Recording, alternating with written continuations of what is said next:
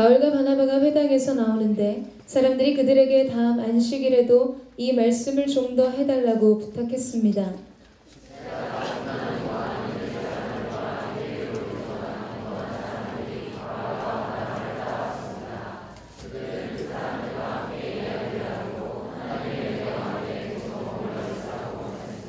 그 다음 안식일에는 그 도시의 사람들이 거의 다 주의 말씀을 듣기 위해 모였습니다.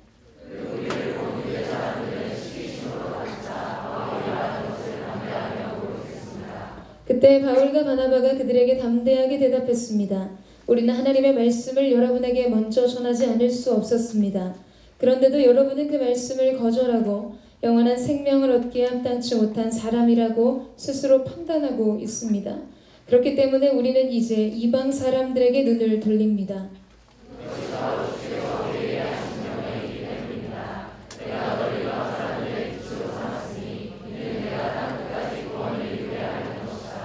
이 말을 들은 이방 사람들은 기뻐하며 주의 말씀을 찬양했습니다. 그리고 영원한 생명을 얻도록 선택된 사람들은 모두 믿게 되었습니다. 그러나 유대 사람들은 경건한 귀부인들과 그 도시의 지도자들을 선동해 바울과 바나바를 핍박하게 했고 결국 그 지방에서 그들을 강제로 내쫓았습니다.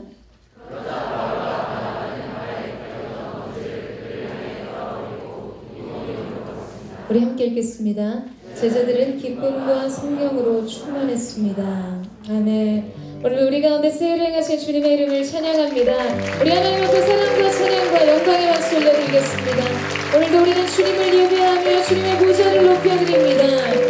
할렐루야. 할렐루야. 사랑하는 여러분 오늘도 성령 충만하십시오. 말씀 충만하십시오.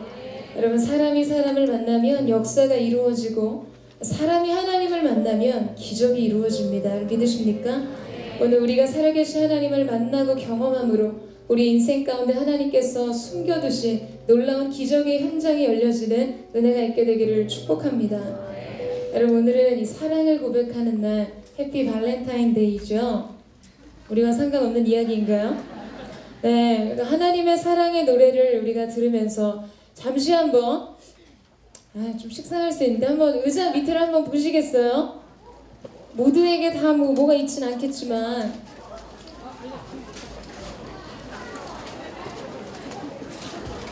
네, 여러분 초콜릿을 받으신 분 한번 이렇게 보시겠어요? 네, 이것이 바로 은혜라고 말하는 것입니다.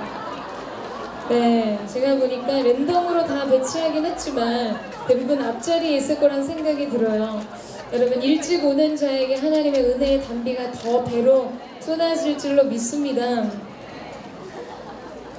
할렐루야, 초콜릿 하나 이렇게 유독이 심하게 될 줄은. 네, 오늘 발렌타인데이입니다. 네, 이야기한 것처럼 이 사랑을 고백하는 날이죠. 그러나 그 누구보다 우리가 가장 흠모할 만한 분, 우리 예수 그리스도께 뜨거운 사랑을 고백하는 그날이 되기를 축복합니다. 저는 이번 주에 한 영상을 보았는데요. 잠시 여러분과 나누고 싶습니다.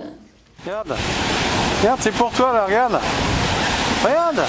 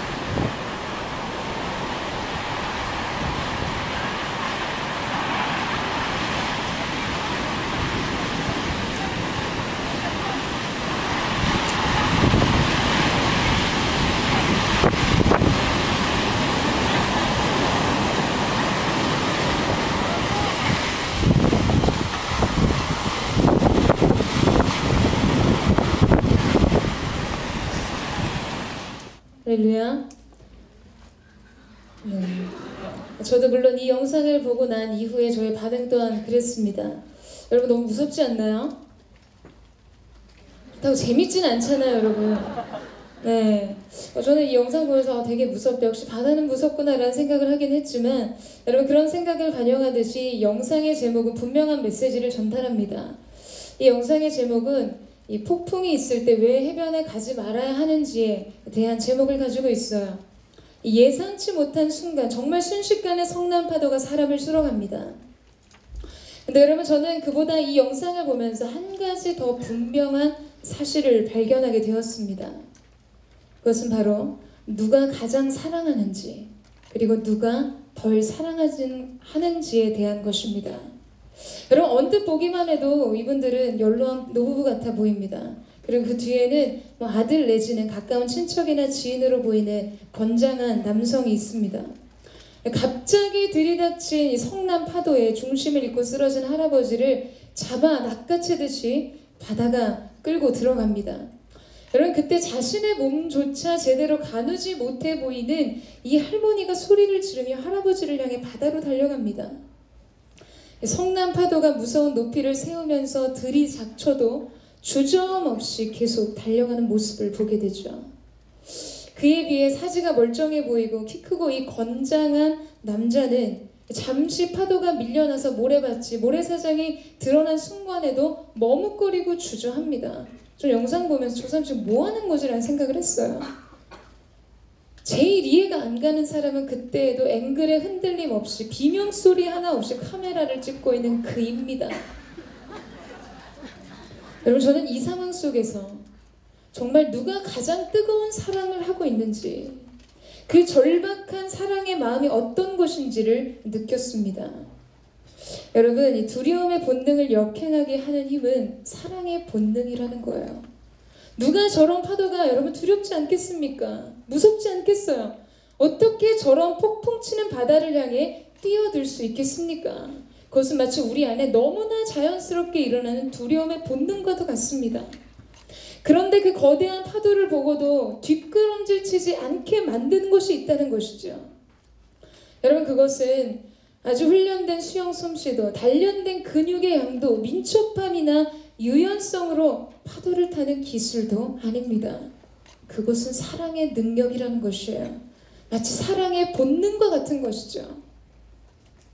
여러분 우리의 삶의 현장 속에서도 가장 완전하게 우리의 존재가 아무것도 두렵지 않은 순간이 있다면 여러분 그것은 우리가 우리가 하고 있는 사랑에 몰입하고 있는 순간일 것입니다.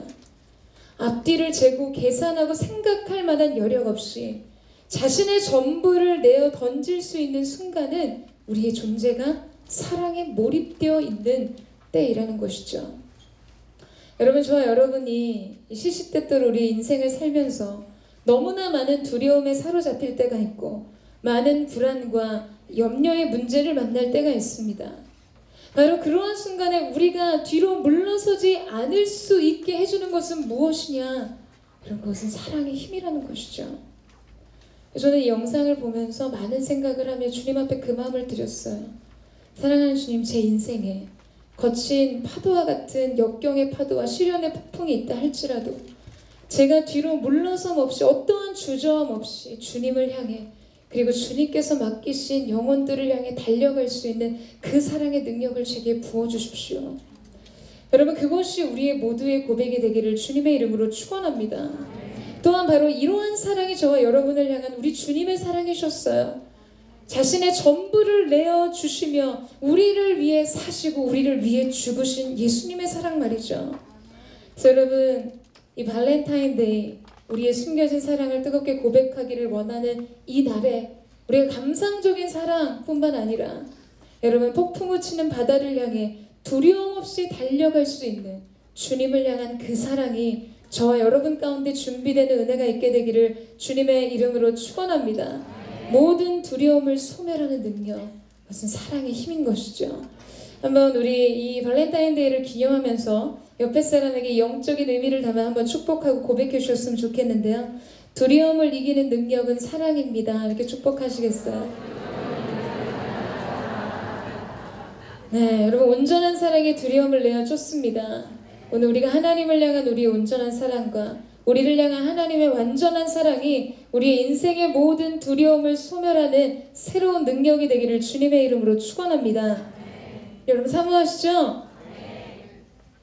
오늘 우리가 함께 읽은 이 본문 속에 등장하는 바울과 바나바도 바로 이런 사랑에 몰입이 있는 사람들이었습니다. 그들이 오늘 찾아간 비시디아 안디옥은 그들이 처음 행선지로 잡았던 버가에서도 160km 정도 떨어져 있는 먼 지역이었습니다.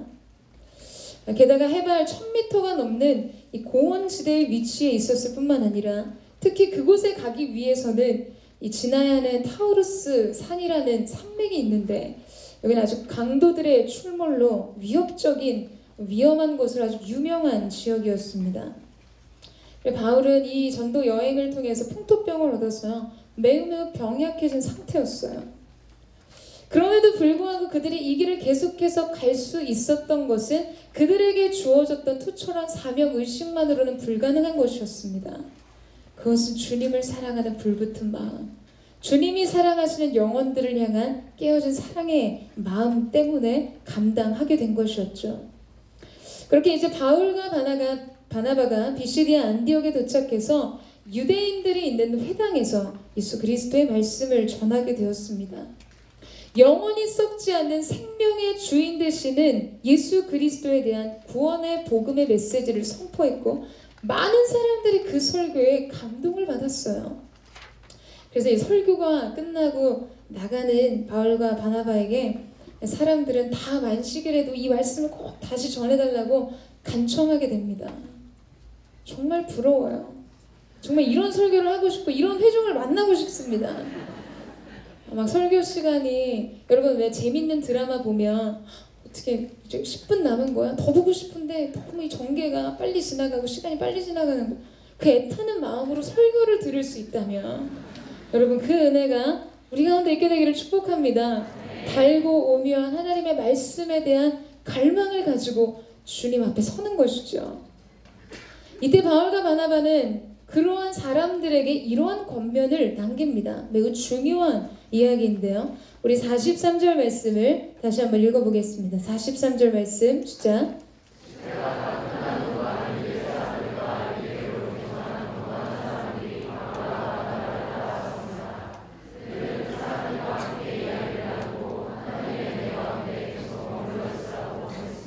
자, 여러분 뭐라고 말했죠? 하나님의 은혜 가운데 계속해서 머물러 있으라 이렇게 권면했습니다. 자 여러분 이 권면이 전제하고 있는 한 가지 사실이 있습니다. 여러분 그것은 무엇일까요? 하나님의 은혜 가운데 계속해서 머물러 있어라 이 권면 속에 전제하고 있는 사실 하나 그것은 그것은 은혜는 항상 존재한다는 것입니다. 여러분 은혜 안에 계속 거하는 것을 우리의 믿음의 의지로 선택할 수 있는 것이라고 한다면 여러분 그것은 분명 은혜가 항상 그들 가운데 있기 때문에 가능한 것이죠. 그렇지 않습니까? 은혜가 굉장히 유동적이라면 내가 은혜 안에 거하고 싶어도 그 은혜 자체가 하나님의 주권 안에 속해 있는 영역이기 때문에 내 마음이 그러하더라도 은혜 안에 거할 수 없다는 거예요. 근데 너희는 항상 그 은혜 안에 계속해서 머물러 있어라고 병면하는 것은 그들 가운데 하나님의 은혜가 언제나 존재한다라는 사실을 전제하고 있는 것입니다. 여러분 사도 바울은 오늘 우리에게도 동일한 권면을 하고 있어요. 당신의 삶에 하나님의 은혜는 언제나 있다. 그 은혜 안에 거하라는 것입니다. 여러분 그럼에도 불구하고 우리는 이 권면과는 동떨어지게 늘 그 은혜에 목말라 합니다. 주님 내게 은혜를 달라고 내게 축복을 달라고 호소합니다. 오늘 내가 힘든 것은 은혜가 없기 때문이라고 생각하지만 여러분 실상 더 본질적으로 우리 안에 부족한 것은 은혜에 대한 자각이고 은혜에 대한 감사입니다. 동의하세요? 이미 하나님의 은혜는 우리 가운데 함께 있다라는 것이죠. 믿으십니까? 이번 주 금요일, 토요일 대학 청년부 교역자 retreat이 충북 제천에서 있었습니다. 저는 이 일정 때문에 자차로 제천에 내려가게 되었는데요. 내려갈 때도 안개가 심상치가 않았어요. 비도 너무 많이 와서 길도 미끄러운데 내려가는 길에 막 트럭이 넘어지는 사고도 있었고 이제 다음 날 일정 때문에 한 새벽 1시쯤에 차를 몰고 고속도로를 달리는데 제 평생 살다 살다 그런 안개는 처음 봤습니다. 전 처음에 산길 내려가는데 전설의 고향 세트에 온줄 알았어요. 거짓말 안 하고 정말 눈앞에 한치 앞이 전혀 보이지 않는 거예요. 이게 직진인지 커브길인지 분간이 되지 않는데 내비를 볼 여력도 없습니다. 잠깐 다른 곳에 시선을 줄 만한 상황이 아니었어요. 그렇다고 속도를 뭐 멈출 수도 없어요. 여러분 고속도로에 속도를 내는 것도 위험하지만 속도를 줄이는 것도 위험하잖아요. 비상등을 켜고 운전을 하는데 하이빔을 한번 잘못 켰다가 정말 이 안개에 삼킴을 당하는 줄 알았어요. 비는 억수같이 쏟아지는데 너무 난감하더라고요. 제가 사실 폐쇄공포증이 있거든요. 근데 그 순간에 공간에 갇힌 게 아니라 이 안개에 갇힌 느낌이 딱 드니까 너무 좀 힘이 들었어요. 혼자 그 길을 가는데 할 말 뭐 이렇게 아주 바짝 긴장을 하고 가는데 정말 사람 목소리 그립다 이런 생각이 들 정도였습니다. 마침 전화가 왔어요. 제가 평생 제가 나름 운전하면 할 말이 좀 있는 사람인데 평생 제가 기도 부탁하면서 안전운전을 위해서 기도 부탁한 건 처음이었던 것 같아요. 그렇게 그렇게 아주 조심스럽게 바싹 긴장을 하고 서울에 도착하게 됐습니다. 아 정말 무사 귀환을 축하하며 자축하면서 하나님께 감사하는데 갑자기 제 마음 안에 지난 시간 매일 너무나 당연하듯 주어졌던 무사 귀환 무사 기간은 과연 무엇이었나라는 생각이 들었어요. 여러분 그것은 분명 은혜였지만 그 은혜를 의식하고 자각하지 못했던 것이죠.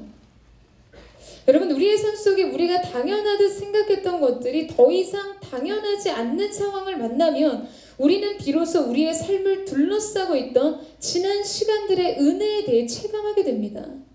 그 당연한 오늘이 존재하기 위해서 우리 가운데 얼마나 당연한 은혜가 우리의 삶을 지탱하고 있었는지를 깨닫게 된다는 것이죠.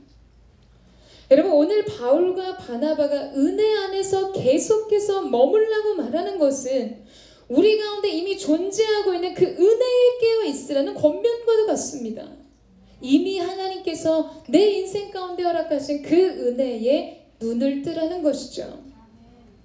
지금 당연한 그것이 그 은혜가 여러분 그 은혜 없이는 결코 우리의 삶 속에 당연하듯 주어졌던 그 모든 것이 당연해질 수 없다라는 것입니다. 여러분 이렇게 우리가 이 은혜에 깨어 있다면 그때 우리에게 주어지는 한 가지 반응이 있습니다. 마치 은혜에 걸리면 나타나는 증상과 같은 것이라고 말할 수 있죠. 여러분 은혜에 대한 자각 증상은 바로 감사입니다. 은혜를 안다면 우리가 은혜를 체감하고 은혜를 깨닫는다면 우리는 감사하게 된다라는 것이에요. 여러분 저와 여러분의 삶 속에 우리가 주신 하나님의 은혜 속에 주신 삶에 대해 감사한다면 우리가 지금 하나님의 은혜 안에 거하고 있고 그 은혜에 끼어 있는 사람들이라는 증거입니다. 여러분 저는 오늘 저와 여러분 가운데 이 하나님의 은혜에 민감한 하나님의 사람들이 되시기를 주님의 이름으로 축원합니다. 네. 여러분 매 순간 반드시 기억하세요. 그리고 믿으십시오. 은혜는 항상 있다는 사실입니다. 우리가 낙심한 낙심할 만한 일을 만났을 때도 여러분 고백하세요. 외치십시오. 그의 마음속에 선포하세요. 내게 은혜는 언제나 있다라고 외치십시오. 그럼 믿으세요? 그럼 그 은혜가 합력하여 선으로 이끄는 이음줄이 될 것입니다. 우리가 자주 만나게 되는 이 뭐 우울한 감정과 비관적이고 부정적인 생각이 이 우리의 장래 미래를 보는 안경이 될 때도 외치십시오. 은혜는 언제나 있다. 여러분 그러면 새로운 하나님의 관점의 전망대에 서 있는 여러분 자신을 발견하게 될 것입니다. 저는 계속해서 여러분이 은혜에 끼어 있는 하나님의 사람 되시기를 주님의 이름으로 축원합니다. 이 은혜를 감지하는 영적인 감도가 높은 사람이 되세요. 매일의 삶 속에 마치 숨겨져 있는 보물을 찾듯이 여러분의 삶 속에 숨겨둔 하나님의 은혜를 발견하기 위해 차, 찾아보십시오. 여러분 그러면 여러분이 하나님의 은혜를 발견하기도 전에 이미 행복해진 여러분 자신을 먼저 발견하게 될 것입니다. 여러분 믿으세요? 그래서 매일의 삶 속에 이 하나님의 은혜의 신비 속에 둘러싸여 있는 여러분 자신을 발견하고 그 하나님 앞에 넘치는 감사와 찬양과 경배로 주님의 보좌를 높여드리는 저와 여러분 되시기를 주님의 이름으로 축원합니다. 여러분 옆에 사람에게 한번 선포하시죠. 은혜는 언제나 있습니다. 자기 자신에게 한번 축복하겠습니다. 내게 하나님의 은혜는 언제나 있습니다. 믿으십니까? 여러분 이 사실을 기억하세요. 그리고 이 사실을 믿으십시오. 어떠한 순간을 지나고 어떠한 환경과 상황을 지날 때라도 그 모든 순간에 하나님의 은혜는 존재한다는 사실입니다. 흔들림 없는 이 사실 앞에서 매일의 삶이 하나님의 저항할 수 없는 은혜에 견인되어지는 저와 여러분 되시기를 축복합니다. 여러분 이 은혜 안에 머무니까 그들에게 또 다른 선순환이 이루어집니다. 그것은 바로 말씀에 대한 갈망이에요. 그들에게 이 영적인 식욕이 왕성해진 것입니다. 여러분 우리가 이 은혜에 끼어 있으면 우리의 존재는 어떠한 변화를 경험하냐 하면 감사로 충만해지고 우리 영혼이 계속해서 하나님을 즐거워하는 예배 안으로 들어가게 됩니다. 기도하고 싶어지는 갈망이 생겨요. 말씀에 대한 목마름이 생기게 됩니다. 여러분 44절 한번 보시겠어요? 44절 한번 읽어보겠습니다. 44절 말씀 시작.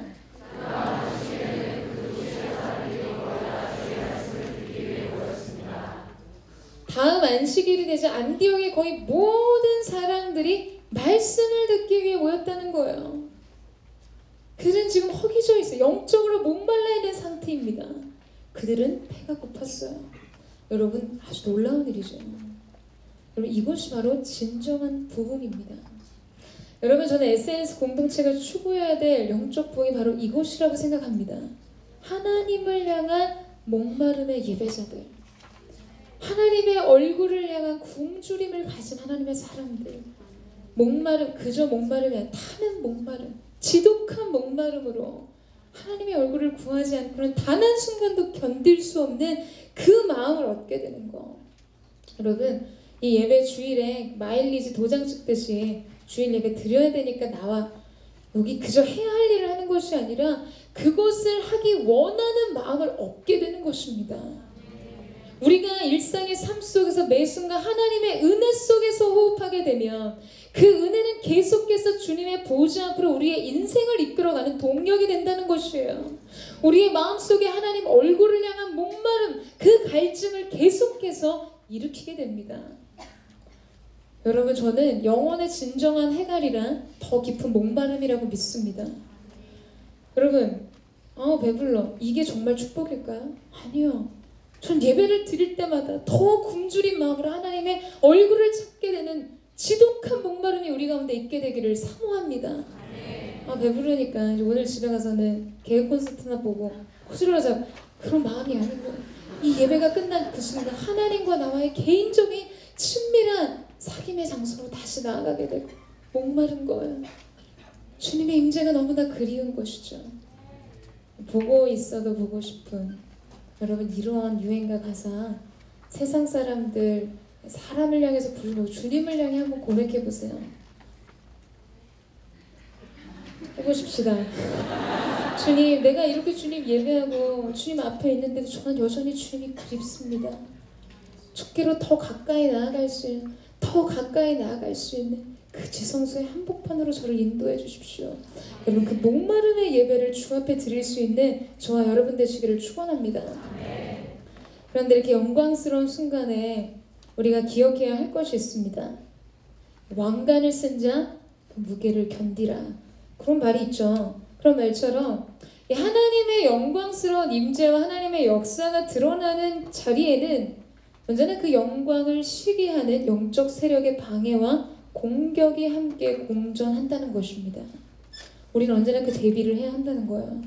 미스바의 영적 대각성, 사무엘을 통한 이스라엘 백성의 영적인 대각성 일어나자마자 성경이 함께 더불어 기록하고 있는 것이 여러분 그 소식을 이스라엘 백성이 미스바에 모였다 하는 소식을 듣고 블레셋들이 그들을 치러 올라왔다라는 기록이 있어요.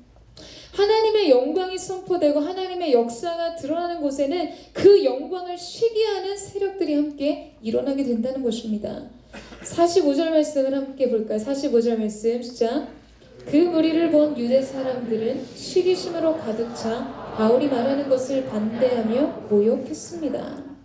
여러분 오늘 말씀은 유대인들이 바울을 시기했다라고 말합니다. 왜 시기하고 질투했을까요? 여러분 우리는 이 사실에서 그들이 바울을 시기함으로 그를 반대하며 모욕했다는 말 속에서 그들이 어떠한 지위를 가지고 있는 사람들이었는지를 확인하게 됩니다. 그들은 회당에서 말씀을 전하던 종교 지도자의 무리였다는 거죠. 무슨 추측인가? 여러분 원래 이 적수나 경쟁자를 뜻하는 라이벌이라는 단어 영어의 어원을 보면 강, 리버라는 단어에서 파생되었습니다. 이 농경과 목축을 하며 살던 고대인들에게 강물은 곧 생명이었어요. 그렇기 때문에 강물은 생존을 위해서 결코 양보할 수 없는 필수 불가결한 것이었습니다. 그래서 이 강물을 두고 싸우는 사이라는 어원을 가진 라이벌이라는 단어가 그 유래에서 파생되어 생기게 되었습니다. 다시 말하면 라이벌 관계에서는 삶의 어떠한 영역에서 공통 분모를 갖고 있게 된다는 거예요. 나랑 겹치는 어떤 것이 있어야 라이벌 관계가 성립되는 것이죠. 아, 나랑 캐릭터가 겹치네. 이런 것처럼 같은 대상 같은 대상을 갈망하고 동일한 것을 소유하려고 할 때 심리적인 다툼이 일어나게 된다는 것입니다. 뭐 이게 자매들은 특별히 외적인 조건에 예민하기도 하죠. 자매가 형제 근육을 보면서 질투하진 않잖아요. 그런 경쟁 의식을 막 갖진 않잖아요. 대신 이 어여쁜 자매를 보면 경쟁 의식이 생기겠죠. 이 형제들은 또 자신의 분야에 대한 이 성취욕이 굉장히 강한 편이죠. 인정의 욕구가 강하기 때문에 그런 어떤 공통 분모 안에서 심리적인 다툼이 일어납니다.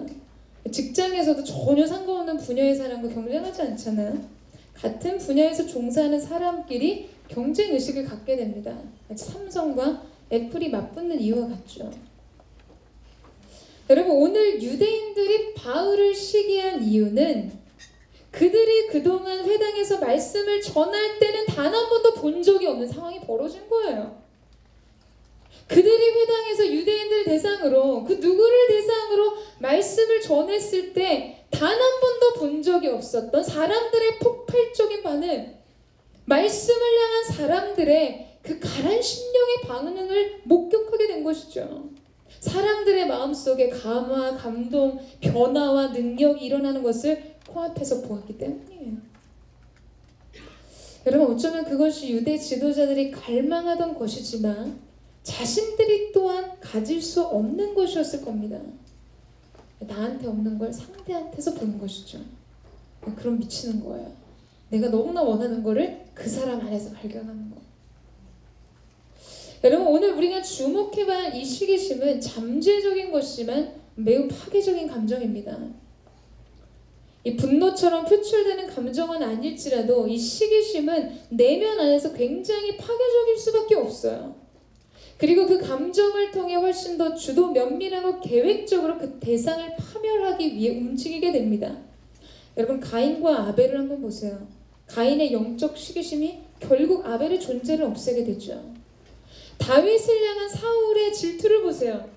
사실 이 국정을 운영하고 대사를 행해야 될 왕이 다윗 허구한 날 다윗 뒷공무니를 쫓아다니면서 그를 없앨 계획에 혈안이 되어 있습니다.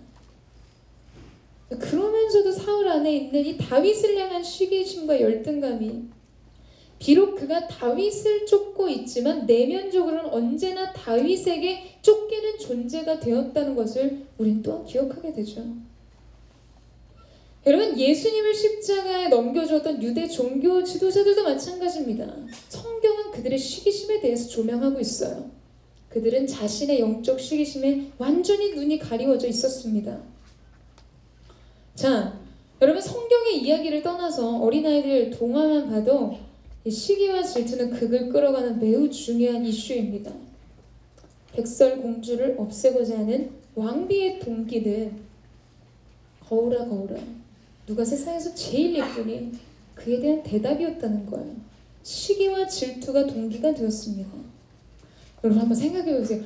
얼마나 미우면 죽이고 싶기까지 할까요?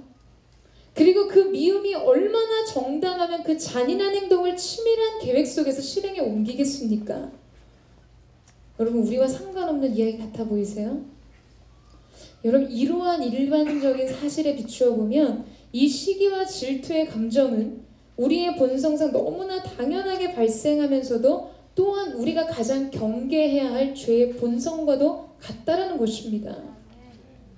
드라마와 영화를 끌어가는 거에 있어서 갈등 구조를 일으키는 주요 이슈가 대부분 이런 것이 있어요. 막장 드라마 자꾸 그런 거 보지 마세요. 그런 거를 끌어가는 그 요소 속에 시기 질투 등장하지 않는 극은 없습니다.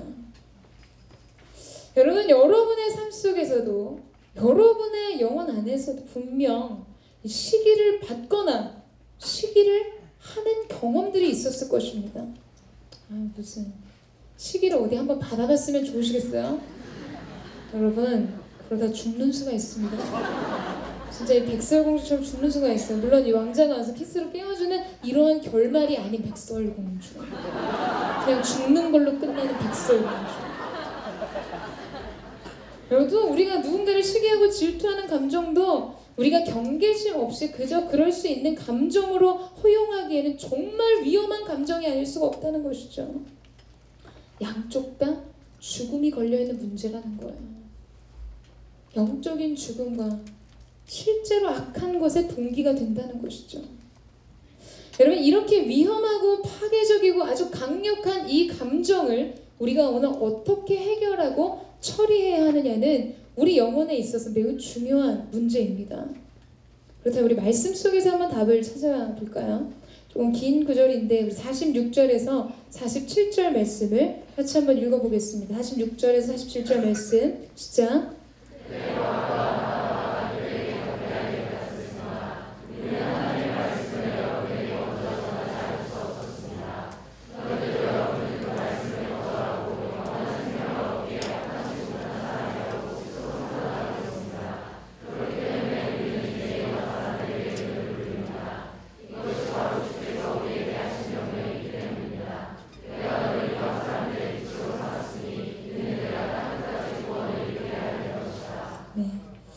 여러분 누군가를 시기하거나 누군가의 시기를 받을 때 공통적인 솔루션이 있습니다. 그래서 그 감정에 대응하는 중요한 태도, 마음이 있는데 그것은 분명한 그 안에 영적인 아이덴티티를 갖는 것입니다. 말씀이 나를 무엇이라고 불러주는지 그것을 나의 인생의 정체성으로 삼는 것이죠. 여러분 바울은 그를 반대하고 아주 많은 족족 비난하며 사람들을 선동하는 사람들을 향해서 담대하게 아주 분명한 자기 입장을 밝히고 뿐만 아니라 그 상황에 대한 해석을 해냅니다. 자기에게 주어진 말씀이 자기의 인생을 불러주고 있는 자기 정체성으로 상황을 이해하고 있는 것이에요. 여러분 그는 뭐라고 말하고 있죠? 유대인인 너희에게 복음을 전했는데 너희가 이 복음을 거절한다면 우리는 이제 이방을 향해서 복음을 전하겠다. 주님께서 우리에게 그 복음에 명령을 하셨고 내가 너를 이방 사람들의 빛으로 삼았으니 이는 내가 땅 끝까지 구원을 이루게 하려는 것이다라고 말씀하셨기 때문이다. 여러분 이방의 빛 말씀이 그를 부르는 그의 정체성을 바울은 너무나 분명하고 확실하게 가지고 있었다는 것이에요. 여러분 그래서 그를 반대하고 때로 시비를 걸고 사사건건 사람들을 선동하고 이간질하고 그를 어려움에 빠뜨리게 하는 그 상황과 그 환경과 그 사람들을 다른 관점으로 이해하고 해석하며 받아들였다는 것입니다. 어떻게 받아들였죠? 말씀의 성취를 위한 것으로 해석하고 이해했다라는 거예요. 여러분 결국 이 모든 어려움이 더 큰 역사를 이루기 위한 촉매자의 역할을 하게 될 것을 믿는 것이죠. 그래서 그의 마음속에는 갈등이 없었습니다. 감정 소진을 하지 않았어요. 감정적인 공격에 감정으로 대응하지 않고 감정적인 공격에 영적인 대응을 하게 된 것이죠. 여러분, 여러분의 직장 생활 속에서 이러한 시기나 질투를 경험하시는 분들이 있을 거라는 생각해요. 개인적인 관계 속에서도 마찬가지입니다. 현실적인 삶의 자리에서 정말 여러분의 사사건건 비난하고 흠집내고 반대하는 사람들을 만나게 될 때가 있죠. 이건 아무리 생각해도 부당한 대우 같고 사실 아닌 이야기들로 여러분의 인격을 흠집내는 사람들을 만날 때가 있어요. 사사건건 시비입니다. 자, 여러분, 그럴 때 어떻게 그 상황을 견디시겠어요? 그럼 어떻게 그 상황을 지나가시겠습니까? 여러분, 바로 그 순간 말씀이 여러분을 불러주는 영적인 정체성을 확인해야 합니다. 나는 누구인가? 그런 내가 하나님의 사람으로 이 상황에 어떻게 반응할 것인가를 결정하는 것이죠. 여러분 그렇게 한다면 여러분은 그러한 순간에 여러분의 생각과 마음을 지키는 은혜가 있게 될 것입니다. 여러분 저는 그 은혜가 저 여러분 가운데 있게 되기를 주님의 이름으로 축원합니다. 자 그렇다면 반대로 누군가에게 시기심이 생길 때에도 어떻게 해야 할까? 여러분의 삶 속에 조금 더가 지나친 경쟁 의식, 건강한 경쟁 의식을 넘어서는 시기와 질투의 문제가 발생했을 때 여러분 그때도 마찬가지로 말씀이 자신을 불러주는 자기 정체성을 확인하고 기억해야 한다라는 거예요. 더 이상 그 사람과 나를 계속해서 비교하는 일을 그만두어야만 합니다. 나한테는 없고 그 사람에게 있는 것을 자꾸 쳐다보고 여러분 묵상하지 마십시오. 묵상하지 않는 은혜가 있게 되기를 축복합니다. 여러분 하나님은 고유하게 여러분을 통해서만 하기를 원하시는 그 일들을 계획하셨어요. 그것을 믿으세요? 그렇기 때문에 하나님께서 오직 나를 통해서만 하시고자 하시는 그 뜻을 이해하고 자신에게 주시는 그 고유한 강점으로 세상을 살아가는 것입니다. 그것으로 승부하는 것이에요. 여러분 이 질투와 시기는 엄청난 에너지를 아주 부정적인 것에 소진하게 합니다. 아주 파괴적인 일을 도모하고 실행하게 되죠.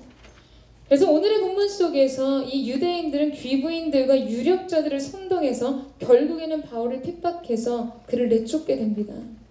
자 그렇다면 여러분 그들의 입장에서 눈에 가시와 같았던 그들의 기득권을 위협했던 바울은 사라졌지만 바울은 사라졌지만 그 자신은 아무것도 달라지지 않았다는 거예요. 발전하지 않았다는 것입니다. 아마 그들이 말씀을 전할 때 여전히 사람들은 귀를 기울이지 않았을 것이에요. 여러분, 정말 경쟁에서 이기고 싶으세요? 뭔가 이루고 싶은 게 아예 없어요. 내가 저 사람 정말 저 사람 이기고 싶다. 그렇다면 여러분 그 사람을 누르고 이길 생각을 하지 말고 자신을 넘어서고 이길 생각을 하십시오. 제가 사극을 좋아하는 거 아시잖아요. 제가 근데 뭐 이렇게 시간이 없으니까 보지는 못- 옛날에 옛날이 아니라 선덕여왕인가요? 어디서인지 잘 모르겠어요. 선덕여왕을 할 때 제가 예전에 순장님 때 그런 이야기를 했어요.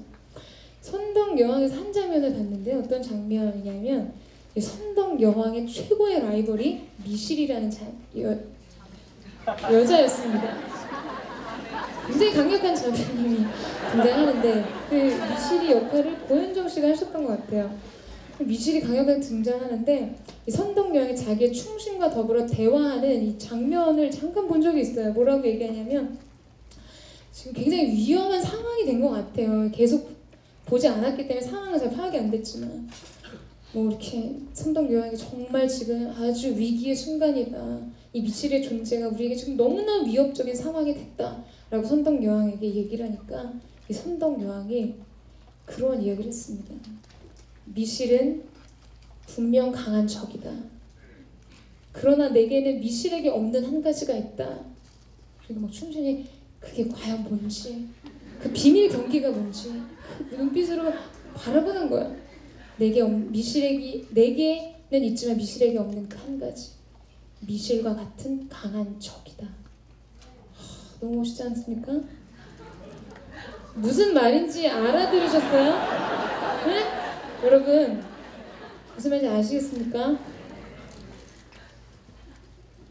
선덕여에게 미시가 같은 강한 존재가 있기 때문에 내가 그를 위해서 자기 자신을 계속해서 더 강한 존재로 다듬고 발전시켜서 자기는 계속해서 성장하겠다는 거죠. 제가 너무 해석이 아름답나요?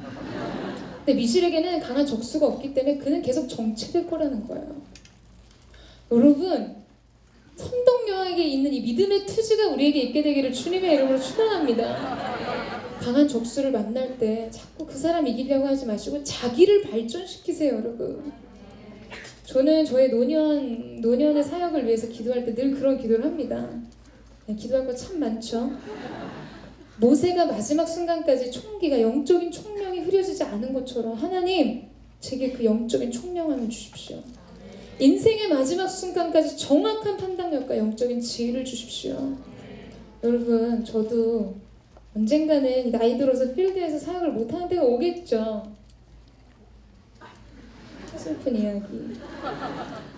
그러면 제가 젊은 사역자들이 힘있게 치고 올라와서 사역하는 거를 침 흘리면서 쳐다봐야 되겠습니까? 잔소리하면서 일일이 참견하면서 딴지를 걸어야 할까요? 정말 현실적인 이야기를 하는 거예요. 그럴 수도 있다는 거예요. 저는 이제 목회자니까 예를 든 거지만 여러분의 삶의 현장에서 그럴 수 있는 거죠. 여러분 가끔 이 동물이 나- 등장하는 만화를 보면 주인공은 아니지만 중요한 그 마을의 정신적 지주와 같은 노인이 등장합니다. 대부분은 부엉이가 그 역할을 하는데 지혜자이기 때문에 젊은 사람들이 부엉이 그 할아버지에게 찾아와서 지혜를 구해요. 그런데 잘 보세요. 출연자로서 비중은 별로 없는 것 같은데 늘 언제나 결정적인 역할을 합니다. 저는 그런 사람이 되고 싶어요.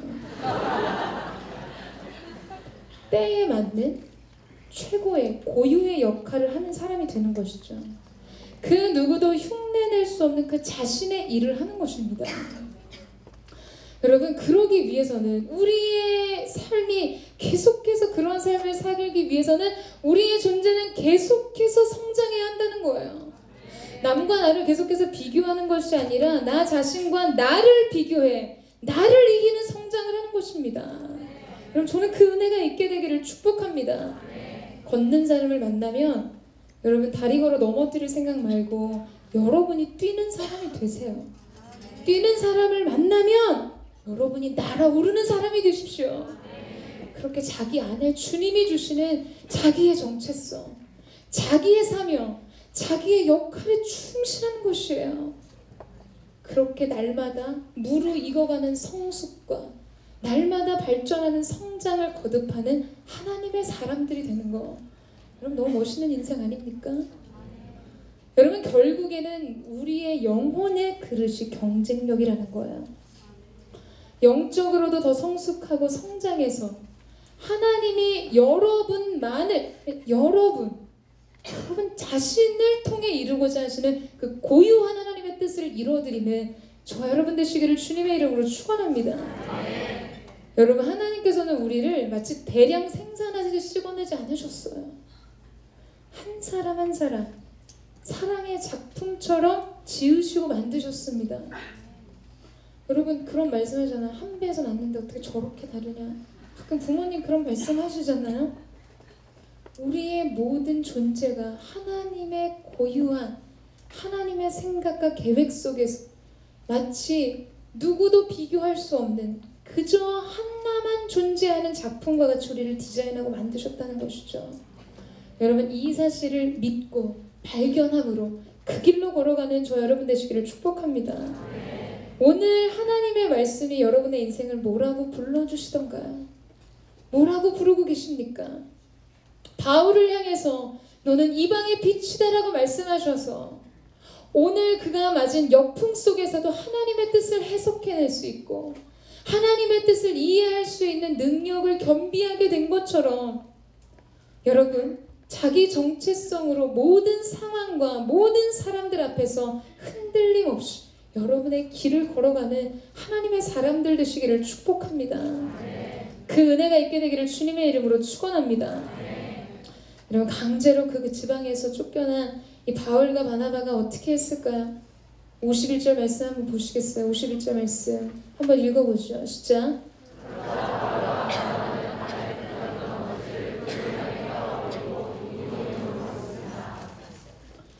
여러분 부당한 대우에 대한 억울함이나 이 울분을 안고 대항하는 세력과 싸우지 않았어요. 그냥 바울과 바나바는 계속해서 자신들에게 주어진 그 사명의 길을 걸어갑니다. 은혜는 언제나 존재한다.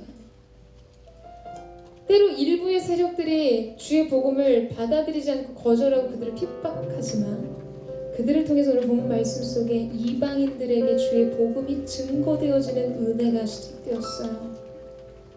그들은 그저 반에서 티끌을 털어버리듯 그렇게 모든 뜻을 하나님께 의탁하고 맡겨드린 채 자신에게 주어진 하나님이 불러신 자기의 정체성 그 이름대로 그의 사명의 길을 계속해서 걸어가는 것입니다.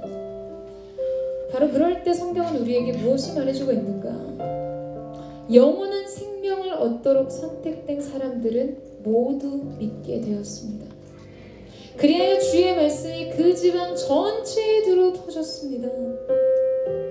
바로 그때 하나님의 뜻이 이루어지는 것입니다.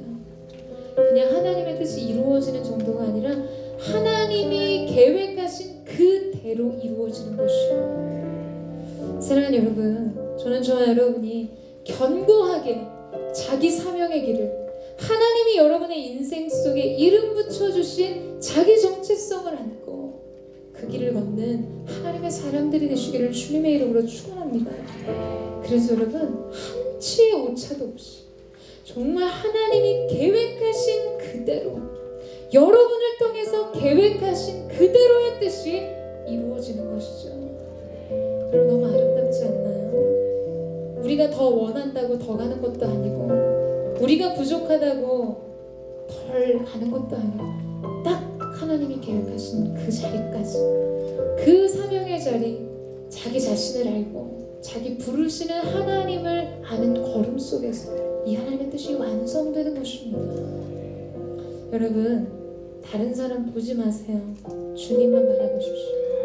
다른 사람 인생 속에서 일어나는 그 일들과 내 인생의 현장을 비교하지 마세요. 여러분의 삶을 통해 일하시는 주님을 주목하십시오. 오늘 이 말씀처럼 때로는 대항하는 반대하는 세력들을 만나고 시기를 하게 될 때도 있고 시기를 당할 때도 있는 그 걸음 속에서 온전하게 주님이 여러분의 인생 속에 불러주시는 그 이름대로 즉그 뜻대로 하나님과 함께 그 길을 걸어가는 저 여러분 되시기를 주님의 이름으로 축원합니다. 지금 함께 기도하며 찬양하며 주님 보좌 앞에 나아가기를 원합니다. 사랑하는 주님, 우리를 토기장이 손에 들려준 진흙과 같이 하나님의 형상, 하나님의 고유한 뜻을 반영한 하나님의 사람들로 빚어주심에 감사드립니다. 하나님 우리의 인생이 다른 것을 견눈질하지 않고 두려움에 주저하지 않고 위축됨으로 물러서지 않고 하나님 흔들림 없이 견고하게 우리 사명의 길을 걸어가는 하나님의 사람들이 되기를 원합니다. 매 순간 우리를 향한 하나님의 은혜는 언제나 존재함을 믿습니다. 오늘도 하나님 우리의 영혼이 민감하게 우리 가운데 베풀어 주신 그 하나님의 은혜에 반응하는 하나님의 사람들 되게 하여 주시옵소서.